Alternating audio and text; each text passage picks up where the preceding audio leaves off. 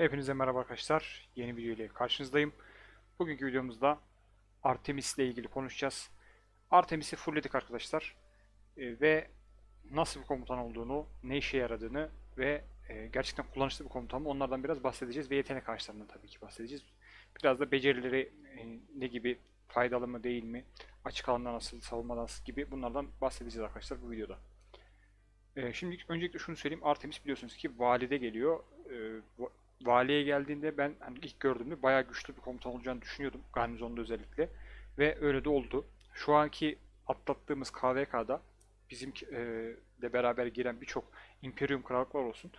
Artemis'i kullandılar arkadaşlar. Neden? Çünkü Attila Tekeda'yı durdurabilen bir komutan. Onu söyleyeyim. Attila Tekeda'yı hatta iki tane, üç tane Attila Tekeda rallisini bile durdurabiliyor kapı savunmalarında bunları gördük. Örnekleri var. Artemis önde, arkada Yi Seong şeklinde. Ee, Çok kullanıldı arkadaşlar.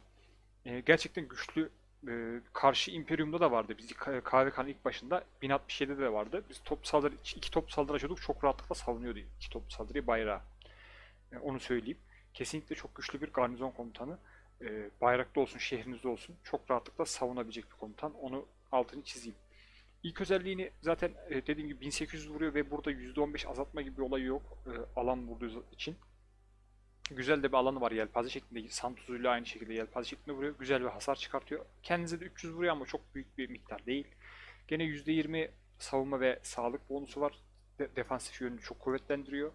E, burada garnizon Ken arkadaşlar normal saldırı hasarını ve düşür, %10 düşürür ve her normal saldırı %10 ihtimalle hedef silah sıkılar bir saniye silah sıkılar hani bu kötü bir- hani bir saniye ne olacak gibi düşünebilirsiniz ama bence güzel bir özellik arkadaşlar. Bir saniyede olsa e, o karşı taraf sizi vuramıyor. Silence'dan iyidir bence bu özellik. Bu özellik sayesinde garnizonda bayağı etkili oluyor arkadaşlar onu söyleyeyim. Gelelim dördüncü özelliğine. Burada %50, yüzde e, 80 öfkedeyken %50 ihtimalle e, yaklaşık 3, saniye kendini susturup 5 burada gene hala Türkçesini düzeltmediler. 5 saniye boyunca %50 hasar artışı sağlıyor arkadaşlar. Ve bu hasar artışı gerçekten garnizonda gene güzel işe yarayan bir hasar artışı. %50'lik güzel bir hasar artışı arkadaşlar onu söyleyeyim. 3 saniye susturması çok bir şey değiştirmiyor. Zaten %80 öfkedeyken susturuyor. Ee, yaklaşık 1 saniye falan kaybınız oluyor genelde. 1 saniye bir skill atamıyorsunuz. Daha sonra atabiliyorsunuz. Zaten %100 olana kadar e, o 1 saniyesi kalıyor. Onu, onu belirteyim.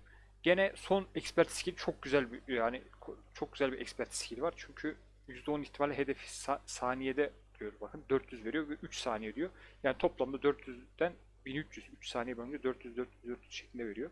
1200 beceri hasar çıkartıyor. Sadece karşının beceri hasarını %15 arttırıyor 3 saniyeden ama bu çok önemli değil. Yani çok e, sonuçta siz 1200 hasar atıyorsunuz, atıyorsunuz.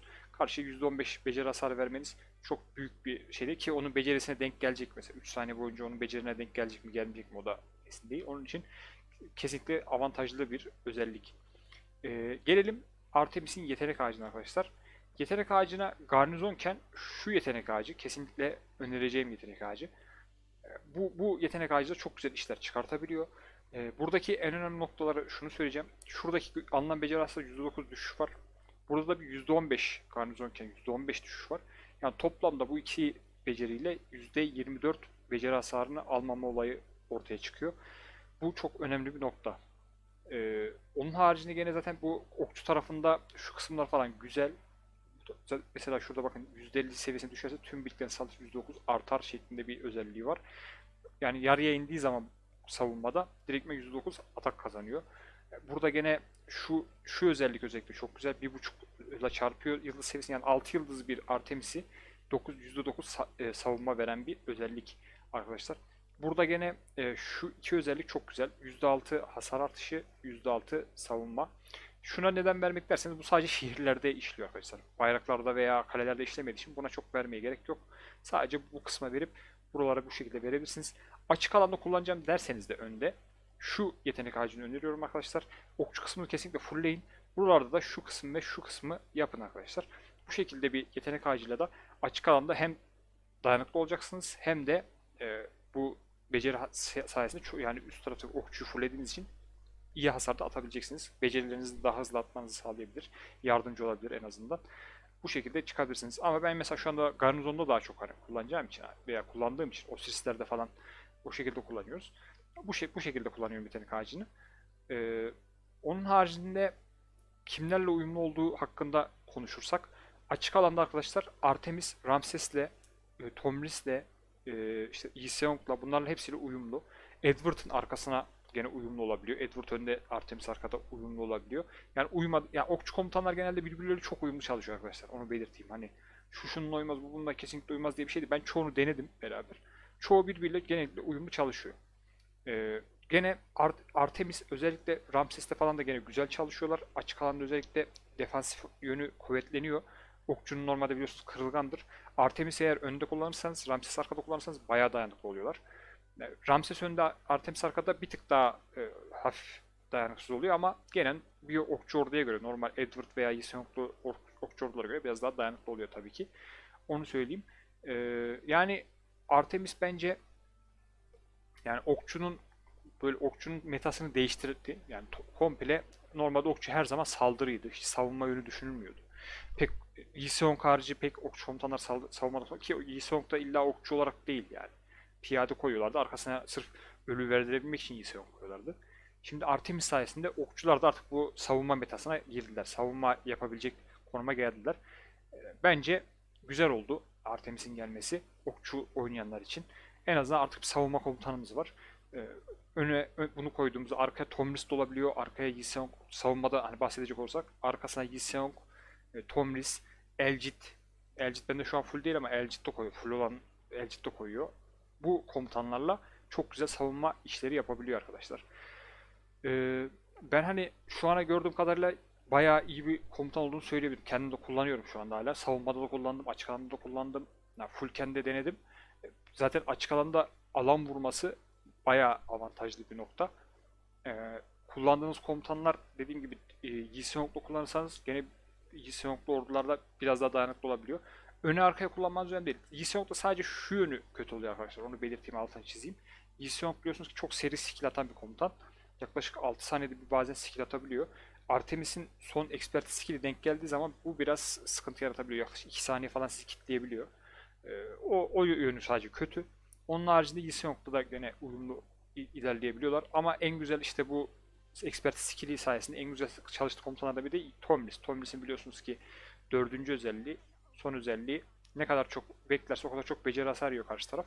Onun için Tomlis'te savunmada da güzel oluyorlar bu yüzden. Hani o kendini silence'layıp daha geç skill atması, Tomlis'in de daha fazla atak vurmasına sebep oluyor etkin becerisiyle.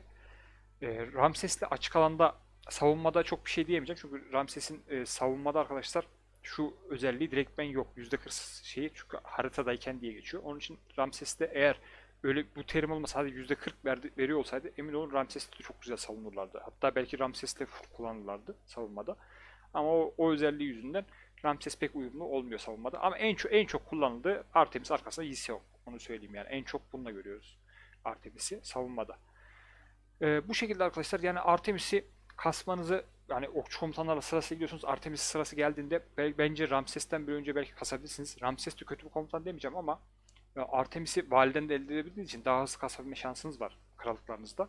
Valilerden elde edebildiğiniz heykelleri elde edip kendinizde bulunan heykellerde rahatlıkla basabilirsiniz. Artemis kesinlikle hak ediyor bu heykelleri. Bilmiyorum hani buff veya nerf hani güçlendirme veya güçsüzleştirme gelir mi gelmez mi onu emin değilim. Hani Artemis'e veya Ramses'e.